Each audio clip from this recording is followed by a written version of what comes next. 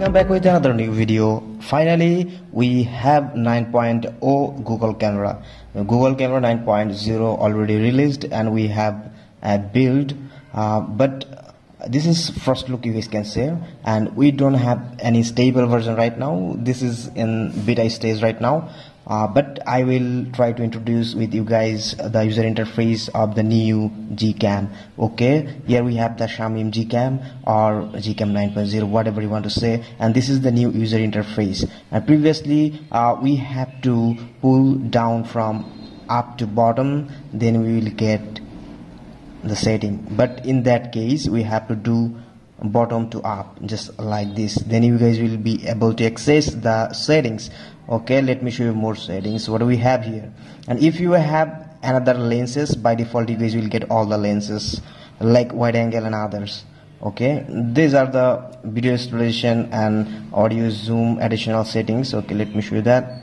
And we have to customize additional module if you want to actually. Move file to directory and config settings advanced options viewfinder buttons and then we have about gcam sgcam actually if you want to uh, check that.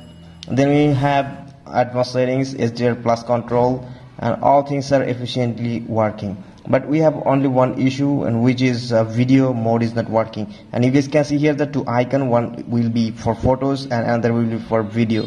So let me switch to video mode. Yes this is video mode but it's not working right now couldn't couldn't record video you can see the message. So this is it for now. Video is not working. But you guys can try other things. Uh, like everything is broken in video section but very soon it will be fixed. But if you want to try just for testing then definitely you can go with it. Now let me show you other things. Okay it's crashing.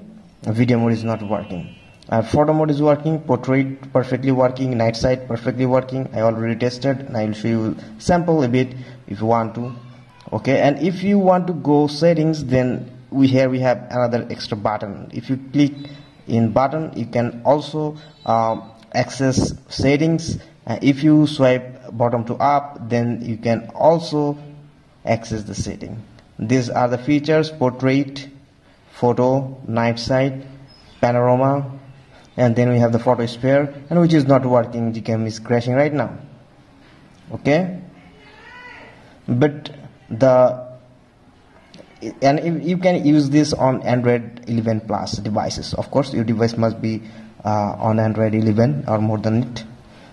And you can click photos very short time within very short time and it doesn't take much time to process HDR plus. And I'm using that latest Gcam on very low end device. If you have high end device then definitely you will get uh, much better things. Okay let me show you photos samples I have taken.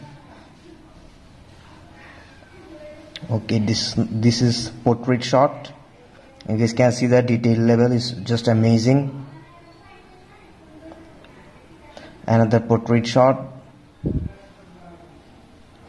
these are the real colors. Actually these are the real colors. I didn't change anything. I didn't customize anything. Okay? These are the photos. So detail level is just awesome. No issues with that. So these are the things actually i had to show and i had to share with you. Hope you guys understand the video. If you like my work then do subscribe and hit the bell icon. So thank you for watching